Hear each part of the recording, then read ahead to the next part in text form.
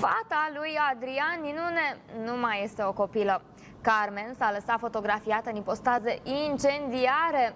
Artista a publicat pe contul său de Instagram mai multe fotografii din vacanță în care apare într-un costum de baie minuscul și care îi scoate foarte bine în evidență bustul și formele de invidiat.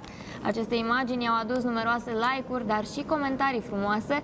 Fata lui Adrian Minune arată mai bine ca niciodată și știe foarte bine să se pună în valoare.